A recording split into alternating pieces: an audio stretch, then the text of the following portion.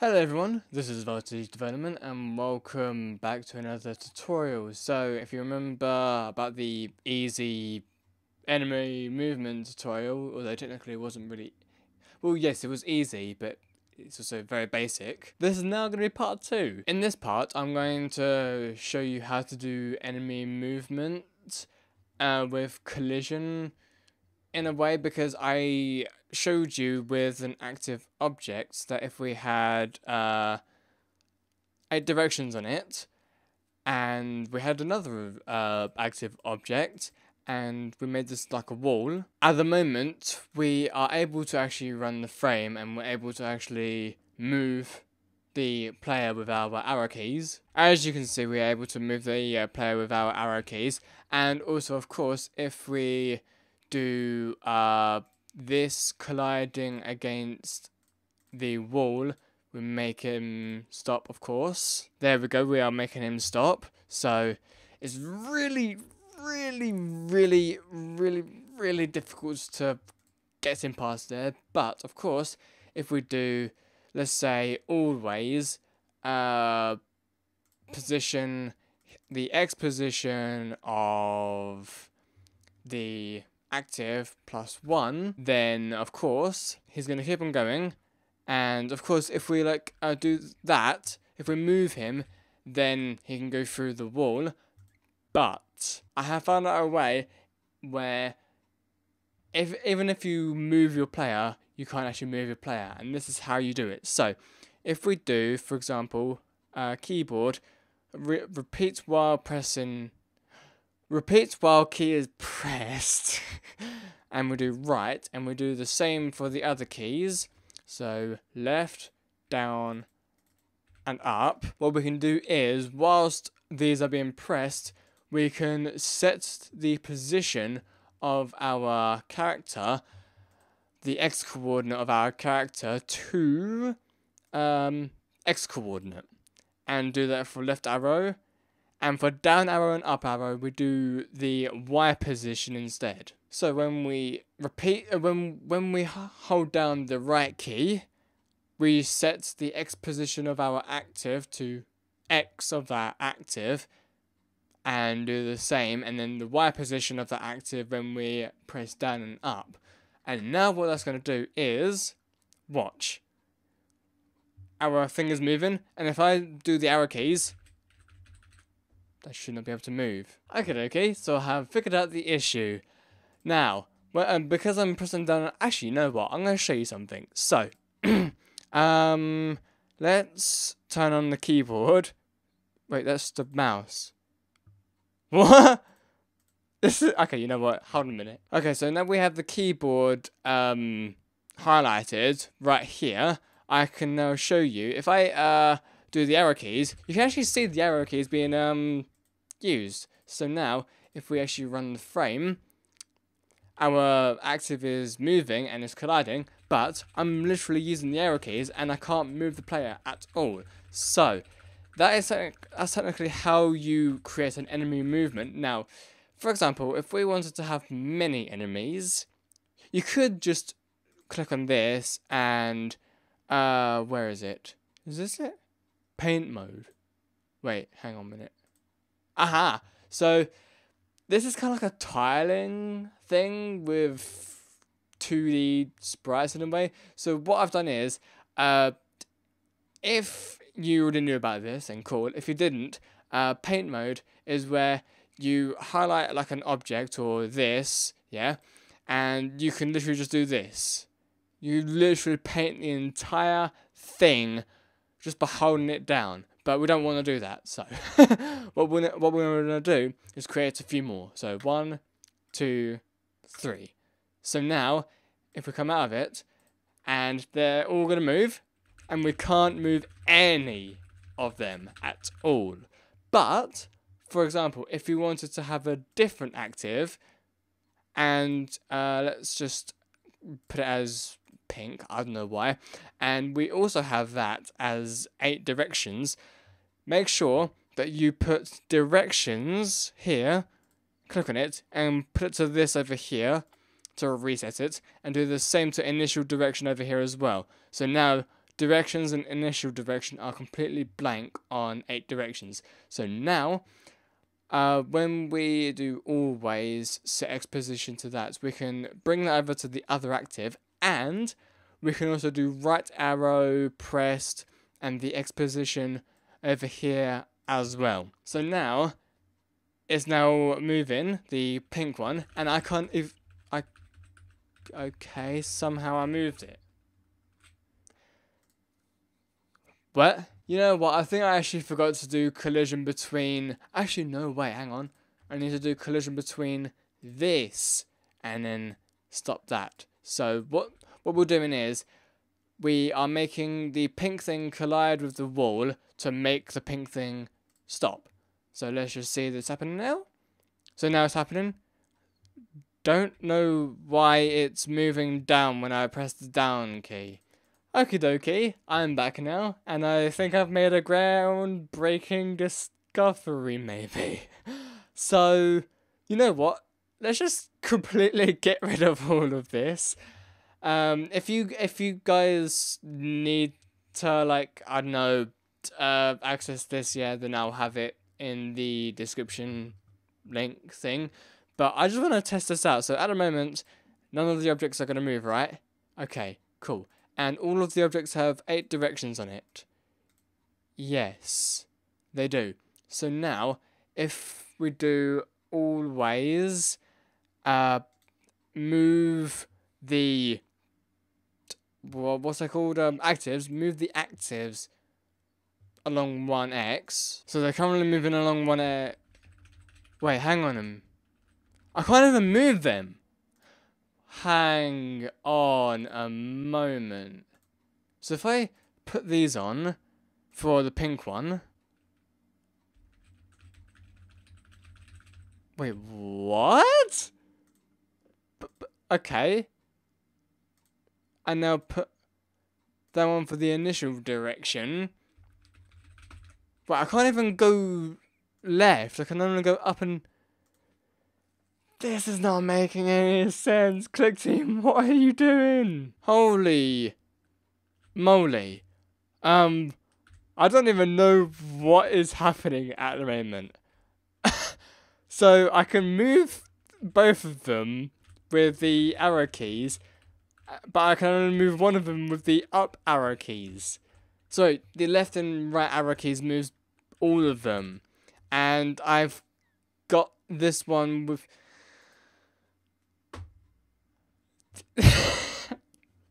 I was really hoping that this video would be like simple to make, but this just makes it a whole lot harder. And Clickteam Fusion is not making it easy for me to give you this tutorial, so I apologize everyone.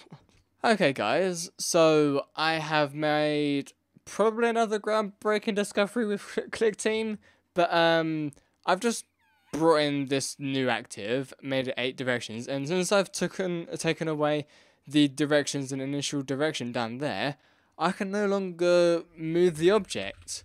So if I put the directions back on, I can move the object? Yeah. So, okay. So then I take away the directions, and I can no longer move the object. How is it that in the other part, it did the it didn't let me do this. this is what I'm saying, like, Clickteam Fusion doesn't make sense most of the time. This is why I use Unity now. Unity makes a little bit more sense, sometimes. More so than Clickteam. So now, what we're gonna do is, how long is this 15 minutes. Holy crap. I really, really am so sorry about how this tutorial is going on for longer. But what we're going to do now is we're actually going to make random movement with this enemy object. But first of all, let's just do a collision against wall and make him stop, of course. And now, uh, let's go over into the active object and create alterable values. The first one is going to be left. No, uh, it's going to be called RND, and then it's going to be called, I think, uh, up, down, left, right. The reason why we're doing R&D is um, it's called random number. Well, it's called random. It's not called random number anything. It's just called random R&D. And the up, down, left, right is just to make him go in a direction. So we're gonna do every uh I don't know two seconds. We are gonna set the value of active of the uh, R&D to random five because one, two, three, four will be left, right, up, down. So let's just do the active alterable values compared to alterable value, and let's do up. No wait, hang on, hang on. Let's do R and D is equal to one, and then uh, copy and paste that, and then do two, three, and then four, and then if it's equal to any of them, we're going to set the alterable value of up to 1. Yep. So then that's going to set the alterable value of down to 0 and then left to 0, right to 0 and so on and so forth. So I'll be back. So here we go when the random value is equal to 1, then we set the up to 1 and the rest to 0. When R&D is equal to 2, we set down to 1, rest to 0. R&D 3, left to 1, right, the, the rest to 0. And 4, right to 1. So now, when the alterable values of uh, up is equal to 1 and we're going to do copy and paste so that we change it to down, left and right. So now when it's up equals to 1 we can move the active object uh, and set the y position of the active object to the y coordinate minus 1 and the reason why we're doing minus one is because in in the Clickteam layout thing, if you if you go up, it's minus. If you go down, it's plus. So it's not like uh normal things where if you go up, it's plus, and you go down, it's minus. In Clickteam, when you go up, it's minus, and well, you get the gist of it. So now with the down, we can just drag this and then do it as plus 1 and with left and right we've got to do the x coordinate now. So here we go, when up is equal to 1 then we go up, when down is equal to 1 we go down, when left is equal to 1 we go left and when right is equal to 1 we go right. So let's see how this all works out, shall we? So he's currently not moving and we can't move him at all. There we go. He is currently moving a lot and he's out of frame, damn it. To make sure that he does not leave the frame, we can do active, um, collision, no, not collision, position, and test position of active, is it? Yes. Let's just make sure that he does not leave the frame area. So leave the frame area, we're to basically stop him. So, let's see how this goes. Hey, there we go. He is now colliding against the wall. And is he to stop? Oh, oh, oh. Where is he to go? How does he get out of the wall, though? Okie dokie, I finally have made it work, everyone. So, what I've done is, because he's now colliding against the sort of outside wall, this thing down here does not work, but what I've done is I've actually made a sort of border thing. Now, if you, uh, now if say for example you want to keep your enemy in the frame and you don't want them to leave ever, what you have to do is you have to make sure that these walls uh, follow the frame. There we, or don't follow. Yes, no, don't follow the frame because if it follows the frame, they will come out of the frame when the scrolling happens. So make sure that they do not follow the frame. And that's basically how you do enemy movement. Now I think, I think, I think, I think. Can you actually make sure that um, if I do uh, user clicks or something that can change the movement or something. Next movement. Wait, select movement. Move. You wait. Hang on. You can have multiple move. Wait. Hang on. So, movement. Okay. So you can plus. Okay. So yes, movement one. Movement one can be like I don't know, bouncing ball or something, and make that ten.